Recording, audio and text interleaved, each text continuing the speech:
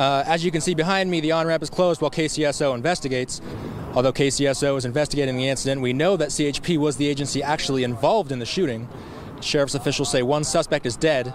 Right now, it appears a tarped body is on the ground next to a sedan.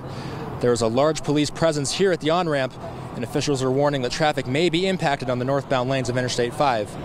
The sheriff's office was not able to confirm with me any events that led to this shooting. Josh?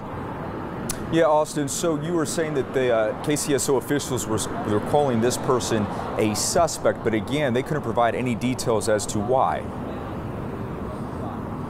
That's right. This is a suspect, but KCSO did not confirm what that suspect was wanted for or any of the events that led to the shooting.